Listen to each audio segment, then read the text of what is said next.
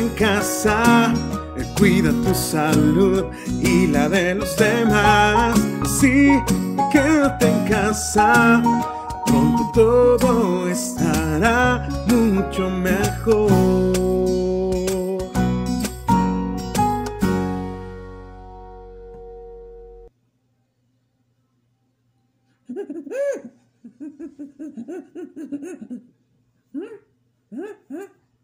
Amiguitos, ¿cómo están? Espero que estén como yo, eh, guardados en su casita y que no salgan a la calle porque ahorita está muy duro lo del coronavirus. Sí, y que se estén lavando las manos una y otra y otra y otra vez. y que si tienen que salir a algo, o, si más bien eh, eh, hay necesidad de salir por algo a la calle, que lo haga una sola persona y que vaya muy bien protegido. que se ponga su cubrebocas, eh, que guarde su sana distancia y que llegando deje sus zapatitos afuera porque las personas que tosen pueden dejar en el piso algo de saliva. y si con los zapatos la pisas, pues te la llevas a la casa.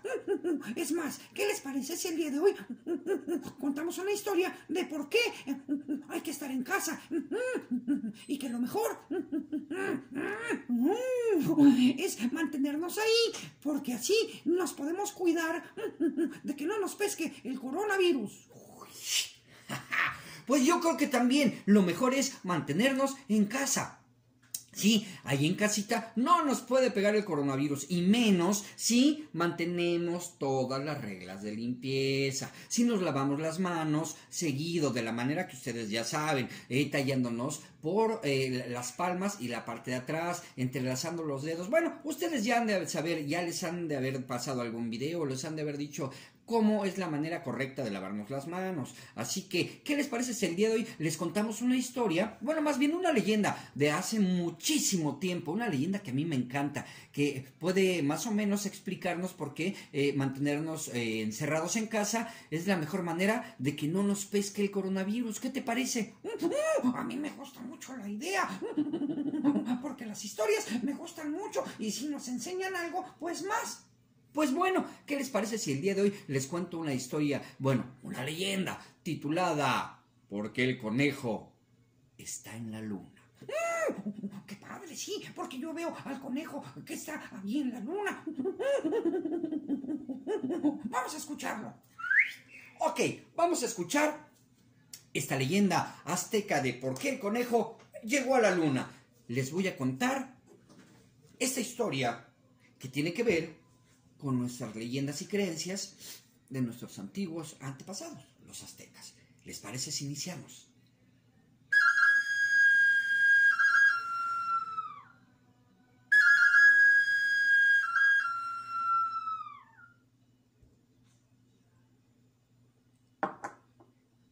Cuentan los aztecas que hace muchos años, cuando la luna estaba recién hecha, se encontraba en el valle de la Ciudad de México, ni más ni menos que un conejo. Eh, hola, ¿cómo están? este conejo se la pasaba brincando por todo el valle, disfrutando de las mieles, del maíz que cultivaban los aztecas. Comía maíz, comía sorgo, zanahoria, calabaza y muchas otras cosas. Se encontraba comiendo plácidamente sin darse cuenta que cerca de él se encontraba un personaje que quería devorarlo. Sí, porque ese era su instinto en la cadena alimenticia. Era ni más ni menos que un viejo coyote.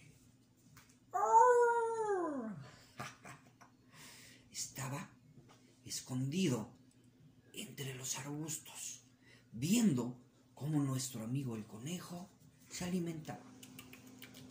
Yomi, yomi. Qué rico. Una calabaza. Granos de maíz. Oh, ñam, ñam, ñam. El coyote, escondido ahí entre los matorrales, esperó el momento propicio para poder agarrar al pobre conejo que no se imaginaba lo que iba a pasar. ¡Ah, ah, ah! Ah, con que sí, ¿eh? Este conejo es muy dragón y está regordete como a mí me gustan. Ah, ya me imagino el sabor que debe de tener comiendo tan deliciosos granos de maíz. Pero yo no soy vegetariano, a mí me gusta la carne. Ah, ah, ah, ah, ah. El como les comentaba, esperó el momento en que agarró de espaldas al conejo que comía, brincó sobre de él, dando un gruñido. ¡Conejo! ¡Ay! ¡Por fin te agarré! Y eso que dicen que eres muy inteligente. ¿Cuál inteligente? A las primeras de cambio lo podía agarrar. El conejo, que realmente sí era muy inteligente, le dijo al coyote, Coyote, por favor, no me comas, no me comas. Claro que sí, te voy a comer. ¿Para qué crees que estoy aquí? Y aparte yo tengo hambre. Tú ya llenaste porque comiste granos y otras cosas, pero yo tengo meses sin comer y vengo buscándote desde hace mucho tiempo, buscando tus huellas, siguiendo tu rastro. Por favor, no me comas, no me comas, no lo hagas. Tengo 25 mil conejitos que alimentar y mi señora coneja que no me deja en paz pidiéndome comida. Claro que te voy a comer. Así que no pidas más clemencia. Lo primero que haré será eh, comerte una piernita y luego una orejita. Sí, está bien, está bien. Acepto mi derrota. Me has agarrado. Ay. Pero, al menos, déjame pedirte un favor. Abre tu boca y cierra tus ojitos para que yo me pueda meter. De alguna manera, has logrado vencerme. Yo solito me meteré a tu hocico, pero no quiero que me veas. No quiero que mi derrota sea tan horrible.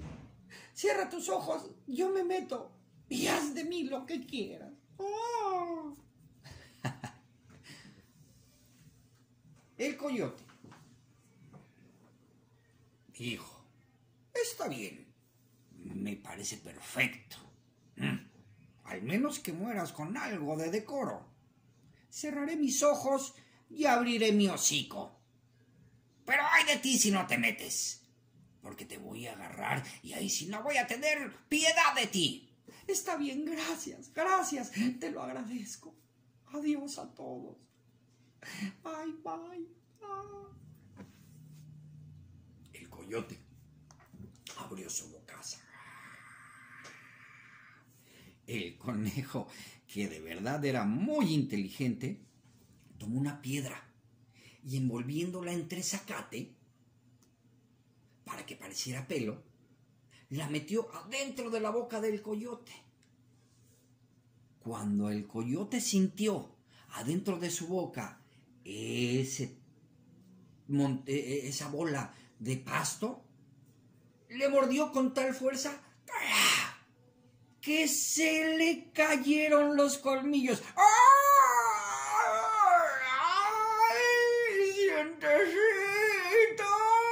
El conejo aprovechó y empezó a huir. Corrió y corrió por todos lados dando brincos. Dicen que el coyote lo seguía dolorido, con la boca toda sangrante porque se había lastimado sus tan preciados colmillos. ¡Ah, vas a ver! Te voy a alcanzar. El conejo seguía alejándose dando brincos.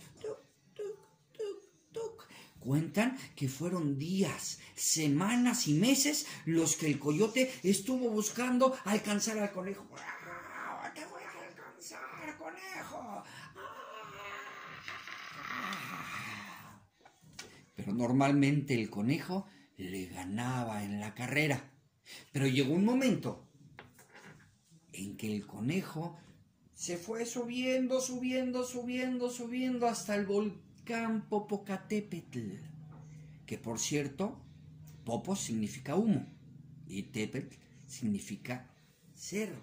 Entonces, el cerro que está, hecho, que está echando humo se llama Popocatépetl. Ya estando en la punta del Popocatépetl, el conejo no encontró a dónde más correr. ¡Oh! No puede ser. Estoy a un lado del cráter del volcán. Ya no tengo a dónde esconderme. Ah, ¿Qué haré? ¿Qué haré? El coyote mm, dijo, ¡Ah! Conejo. Ah, ah, ah. No tienes a dónde huir. Ahora sí, eres mío. Pero el conejo, con todo el miedo que tenía, dio un enorme salto.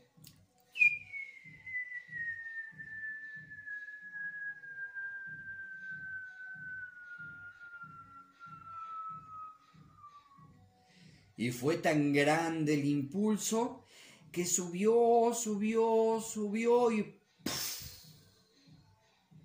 terminó estrellándose en la luna. Como han de saber, los conejos brincan mucho, pero los coyotes no. Desde entonces cuentan que cada que un coyote ve una luna llena, le empieza a gritar al conejo.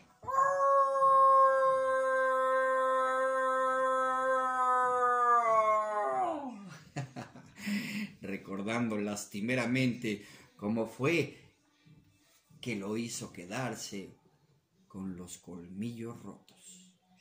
Y colorín colorado, este cuento se ha acabado.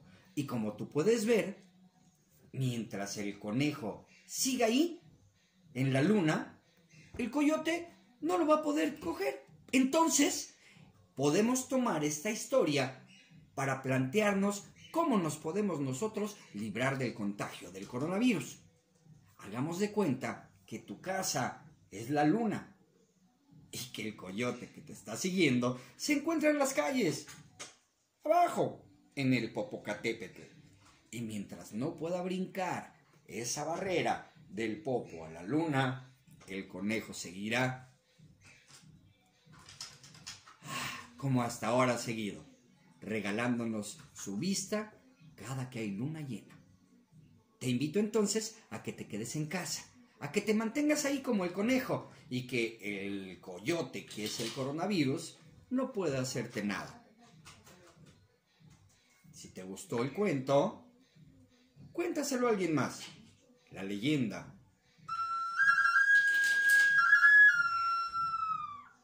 De cómo el conejo llegó a la luna. Yo soy Gabriel Ortiz, desde Piedras Negras, Coahuila, para todos ustedes. Yo me quedo en casa. Y yo me quedo en la luna. para que no me agarre el coyote. Adiós.